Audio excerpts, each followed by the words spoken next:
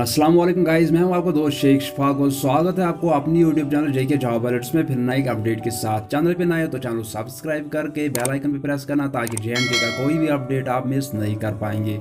आज की वीडियो में government medical college and its associate hospital Jammu की तरफ़ से एक नोटिफिकेशन आई है। इस नोटिफिकेशन उन्होंने मैंशन करके रखा है कि जूनियर स्टाफ नर्स के पोस्ट को फिलअप करना है। इन पोस्ट को कैसे फिलअप किया जाएगा? इसका प्रोसीजर क्या रहेगा? एजुकेशन क्वालिफिकेशन क्या रहेगी? सिलेक्शन क्राइटेरिया क्या रहेगा? वो सब इस वीडियो में हम डिस्कस करेंगे। तो चलिए, आज के वीडियो को हम स्टार्ट करते हैं।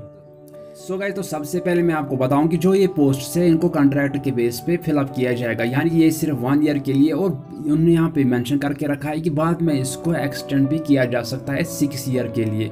तो सबसे पहले अगर हम यहाँ पे बात करेंगे कि नेम ऑफ़ द पोस्ट है जूनियर स्टाफ नर्स और जो इसका पे स्केल रहेगा, वो है 25,500 से लेकर 81,100 तक। और टोटल वैकेंसीज है 14 और जो इसका एलिजिबिलिटी क्राइटेरिया है वो है 10 प्लस टू और इसके अलावा आपके पास नर्सिंग का कोई डिप्लोमा होना चाहिए। और जो इसका सिलेक्शन क्राइटेरिया है वो है बेसिक क्वालिफिकेशन और इसके आपको 60 पॉइंट्स मिलेंगे। और जो टेक्निकल क्वालिफिकेशन होगी इसमें आपको 40 पॉइंट्स मिलेंगे। उसके बाद आपको अप्लाई कैसे करना है मैं आपको बताऊँ कि ये ऑफलाइन मोड है ऑनलाइन मोड आप अप्लाई नहीं कर सकते। ऑफलाइन मोड आपको कैसे अप्लाई करना है? आपके पास एक फॉर्म होना चाहिए। इस फॉर्म को फिलअप करना है और फिलअप करने के बाद कुछ डॉक्यूमेंट्स इसके साथ आपको अटैच रखने हैं। वो कौन से डॉक्यूमेंट्स हैं, वो मैं आपको बताऊँ। सबसे पहले डेट ऑफ़ बर्थ सर्टिफिकेट इसके बाद क्वालिफिकेशन सर्टिफिकेट एकेडमिक और technical marksheet of all years यानी कि आपको हर किसी सेमेस्टर के मार्कशीट साथ में रखने हैं। उसके बाद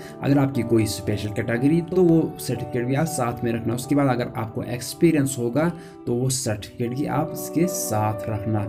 ये डॉक्यूमेंट्स आपको इस फॉर्म के साथ रखने हैं और उसके बाद इसको फॉरवर्ड करना है। फॉरवर्ड कहाँ पे करना है? यहाँ पे उन्होंने एड्रेस दे के रखा है। इस एड्रेस पे आपको ये फॉरवर्ड करना है। Office of the personal officer associated hospitals of government medical college Jammu इस एड्रेस पे आपको ये फॉरवर्ड करना है। आप इस स्पीड पोस्ट रजिस्टर्ड पोस्ट या फिर बाई हैंड भी वहाँ पे ले जा सकते हैं।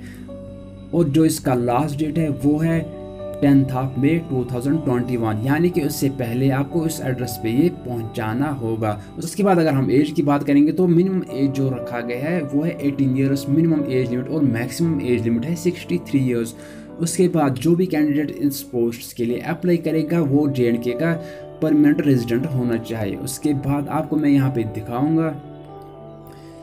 ये जो फॉर्म है, इसको फिलअप करना है और फिलअप करने के बाद जो डॉक्यूमेंट्स मैंने बताए, वो इसके साथ अटैच रखने और यहाँ पे आपको एक फ़ोटोग्राफ अटैच करना है और उसके बाद जो मैंने ऊपर एड्रेस बताया उस एड्रेस पे ये फॉरवर्ड करना है। आपको कैसे फिलअप करना है। सबसे पहले यहाँ पे आपका एडवर्टाइज नोटिफिकेशन नंबर और इसका डेट उसके बाद पोस्ट अप्लाइड फॉर उसके बाद आपका नाम पेरेंटेज डेट ऑफ़ बर्थ और उसके बाद यहाँ पे address district block contact details और इसके बाद यहाँ पे टेन प्लस टू में जो मार्क्स है, आपका बोर्ड आपके मार्क्स कितने हैं? मार्क टोटल मार्क्स कितने हैं परसेंटेज वो यहाँ पे सब मेंशन करके रखना है। उसके बाद जो भी आपकी टेक्निकल क्वालिफिकेशन होगी, वो भी आपको यहाँ पे मेंशन करके रखना है। हर किसी सेमेस्टर का और यहाँ पे टोटल भी लास्ट में आपको मेंशन करके रखना है। और जो आपकी डिग्री का कॉम्पलेशन डेट है, वो भी आपको यहाँ पे मेंशन करके रखना है। उसके बाद जो आपकी कैटेगरी होगी, वो यहाँ पे मेंशन करके रखना है। और जो भी डॉक्यूमेंट्स आप उसके साथ अटैच रखोगी, वो यहाँ पे आपको मेंशन करके रखना है वन बाय वन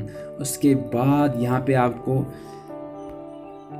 लास्ट में एक सिग्नेचर करना है, उसके बाद ये फॉर्म कंप्लीट हो जाएगा।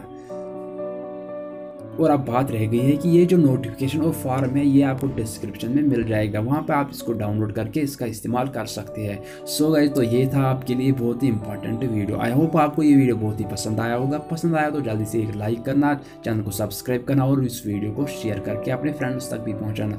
अब हमारी मुलाकात किसी और वीडियो में होगी। तब तक के लिए टेक केयर बाय अल्लाह हाफिज़।